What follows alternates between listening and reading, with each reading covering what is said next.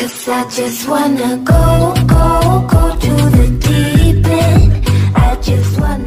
इस वीडियो में फ्रेंड्स, मेरे पास है टेक्नो का गो 2023 और मैं आपको बताने वाला हूँ, इस फ़ोन में अगर आपको फिंगरप्रिंट लॉक सेट करना है तो मैं आपको बताऊँगा आप डिस्प्ले फिंगर सेटिंग कैसे कर सकते हैं। इसके लिए आपको क्या करना है, वीडियो लास्ट तक देखना वीडियो अच्छा लगे वीडियो को लाइक कीजिए और फिंगरप्रिंट से आप कुछ एप्स को भी एक्सेस कर सकते हो। जैसे कि आप कॉल को आंसर कर सकते हो कॉल रिकॉर्डिंग कर सकते हो, यहाँ तक कि आप अलार्म को स्टॉप कर सकते हो। इन फीचरों के बारे में आपको जाना है तो वीडियो को कंप्लीट देखें। चलिए फ्रेंड्स, वीडियो को शुरू करते हैं।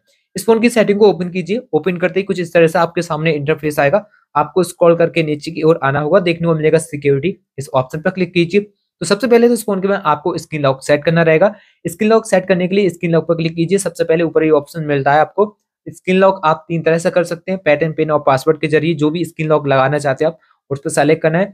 और नेक्स्ट करके आपको स्क्रीन लॉक अपना सेट कर लेना है। आपको दो बार सेम पैटर्न वगैरह जो भी आपने सेट किया दो बार सेम डालना पड़ेगा और यहाँ डन कर देना है। डन करने के बाद अब आप देखोगे फिंगरप्रिंट का जो ऑप्शन है वो आपके सामने होगा। यहाँ पे आपको फिंगरप्रिंट पर क्लिक करना है। जो आपने स्क्रीन लॉक बनाया था, उसको यहाँ पे डाल दीजिए। अब क्या करना है फ्रेंड्स आपको ऐड फिंगरप्रिंट पर क्लिक करना है और नेक्स्ट करना है। नेक्स्ट करने के बाद जो भी फिंगरप्रिंट फ़ोन के अंदर आप ऐड करना चाहते हो, वो इस तरह से आप टच कराइए। तो अपने फिंगरप्रिंट को इस तरह से आप लगा सकते हो। तो यहाँ पे आपको लगाना है तो इस तरह से आप देखोगे आपका फिंगरप्रिंट ऐड हो जाएगा तो इस तरह से इंटरफेस आपके सामने आ जाएगा।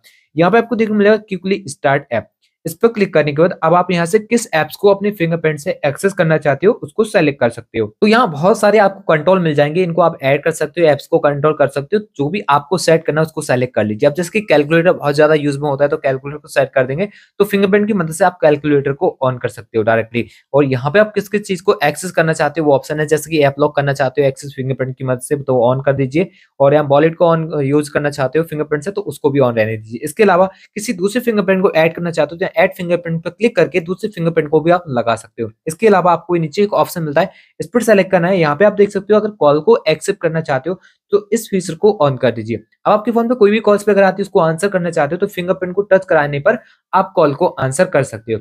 इसके अलावा कॉल रिकॉर्डिंग का भी फीचर मिलता है, इसको ऑन कर देंगे। अब किसी नंबर से आपकी बात हो रही है, उसकी कॉल रिकॉर्डिंग को करना चाहते तो कॉल रिकॉर्डिंग करने के लिए सिंपल फिंगरप्रिंट को टच करा दीजिए। कॉल रिकॉर्डिंग होना शुरू हो जाएगी। इसके अलावा डिस्मिस अलार्म का भी फीचर मिलेगा। फिंगरप्रिंट की मदद से आप अलार्म को भी बंद कर सकते हो। अलार्म बंद करने के लिए सिंपल रिंग होते हुए अलार्म को।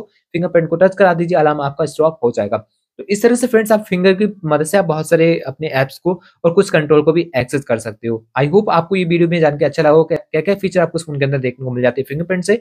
आशा करते हैं फ्रेंड्स आपको वीडियो काफ़ी अच्छी लगी होगी। वीडियो अच्छा लगा तो वीडियो को लाइक शेयर और चैनल को सब्सक्राइब करके बेल को प्रेस करना ना भूलें। चलिए फ्रेंड्स मिलते हैं एक और नई वीडियो के साथ। तब तक के लिए good bye and take care